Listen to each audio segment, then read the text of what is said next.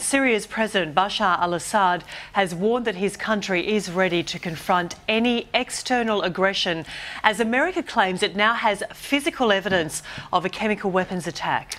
Meantime, UK Foreign Secretary William Hague has told Sky News that the British Parliament's decision against military action stands, saying a further vote would be unrealistic. Buoyed by a weekend of brinkmanship, which he probably feels he's won, Syria's President Assad appeared on state television.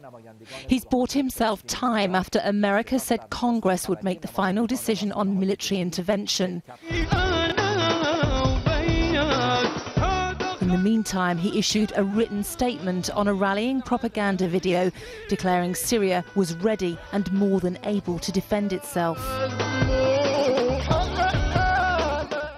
Undeterred, America's Secretary of State John Kerry toured the US Sunday talk shows, declaring there was new evidence against the regime. We have now learned that, that hair and blood samples that have come to us from uh, East Damascus, from individuals who are engaged as first responders in East Damascus, I can report to you today they have tested positive for signatures of sarin. The Commons said no to military intervention, but in spite of John Kerry's urgency, Britain's Foreign Secretary says there won't be a second vote.